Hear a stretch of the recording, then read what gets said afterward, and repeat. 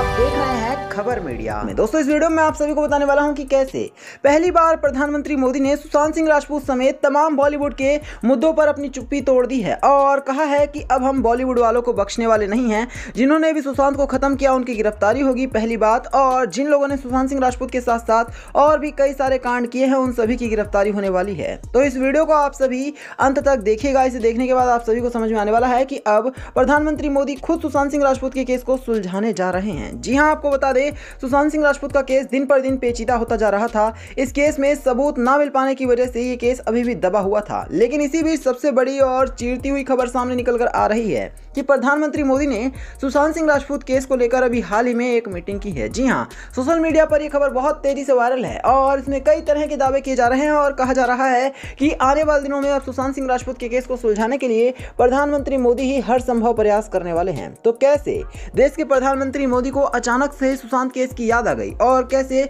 प्रधानमंत्री मोदी ने ठान लिया है कि बॉलीवुड वालों को हमेशा हमेशा के लिए सुधार देना है। पूरी जानकारी मैं आप सभी को इस वीडियो में दूँगा। आपको बता दें, सुशांत सिंह राजपूत को इस दुनिया को छोड़े हुए अब डेढ़ साल से भी ज़्यादा का समय बीत चुका है, लेकिन फिर भी ये केस उलझा हुआ है और सीबीआई, एनसीबी की टीम सुलझाने का आज भी इस केस को प्रयास कर रही है और इस केस में आए दिन अभी भी कोई ना कोई गिरफ्तारी केंद्रीय एजेंसी कर रही है। लेकिन बावजूद इसके ये केस सुलझ नहीं पाया है, इसका मतलब ये है कि इस केस में अभी बहुत सारी बातें हैं जो कि छुपी हुई हैं और इसी वजह से प्रधानमंत्री मोदी ने खबर यह है कि जहाँ एक मीटिंग की है जिसमें बॉलीवुड के मुद्दों को लेकर डिस्कशन चला है, प्रधानमंत्री मोदी ने साफ़ कहा कि जो भी गलत करेगा, उसको जेल के पीछे जाना ही पड़ेगा। तो वहीं सुशांत सिंह राजपूत केस में भी ऐसा लगता है कि प्रधानमंत्री मोदी ने अपनी नज़रें डाली हैं और तभी देखने को मिल रहा है कि एनसीबी की टीम ने इस केस में अपनी छानबीन और भी ज़्यादा तेज कर दी है। एनसीबी की टीम ने अभी हाल ही में एक शख्स की गिरफ्तारी की है, जिसके बाद ये माना जा रहा है कि अब सुशांत सिंह राजपूत का केस बहुत ही जल्द सुलझने वाला है और सुशांत सिंह राजपूत के कातिलों को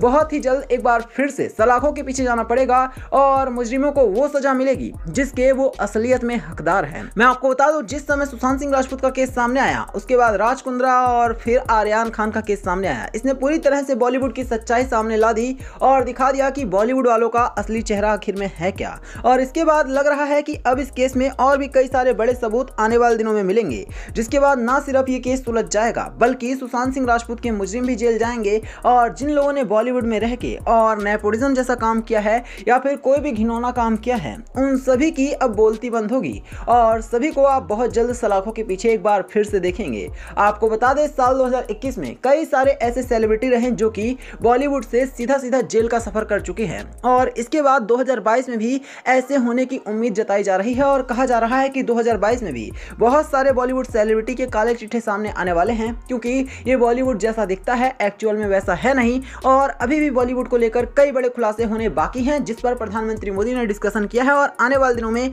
ये सभी खुलासे आप सभी के सामने होंगे। तो यही था वीडियो में। वीडियो को लाइक करना, इसे शेयर करना और चैनल को सब्सक्राइब करना। धन्यवाद।